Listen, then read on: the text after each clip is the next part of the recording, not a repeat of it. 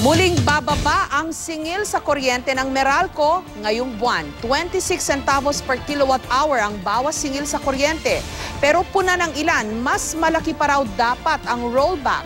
May report si Cara David. Sa ikaapat na sunod na buwan, magbababang muli ng singil sa kuryente ang Meralco. 26 centavos kada kilowatt hour ang ibabawas sa singil para sa buwan ng Agosto. Sa mga kumukonsumo ng 200 kilowatt hour, katumbas ito ng 52 pesos na bawas sa inyong electric bill.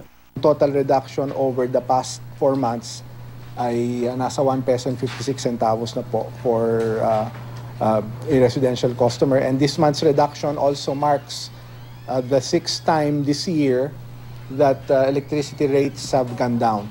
Ayon sa Meralco, isa sa mga dahilan ng pagbaba sa singil sa kuryente ay ang sunod-sunod na pagbaba ng presyo ng langis sa merkado. Nagbago rin ang presyo ng natural gas, kaya tuluyang bumaba ang generation charge. Hindi naman nagbago ang distribution charge. Ikinatuwa ng mga customer ng Meralco ang bawas presyong ito, pero hirit nila sana lakihan pa ang bawas singil. Barya lang raw kasi ito kung tutuusin kumpara sa kanilang bunga ng electricity bill.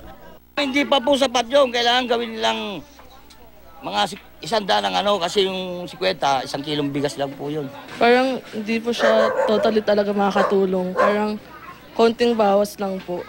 Ayon naman kay Bayan Muna Representative Nery Colmenares, mainam na may bawas singilang Meralco. Pero sa palagay nila, pakanalang daw ito ng Meralco na kunwari magtataas ng presyo saka mag-aanunsyo ng maliit na bawas singil. Sa totoo lang, mas malaki raw dapat ang bawas singil na ipinatupad.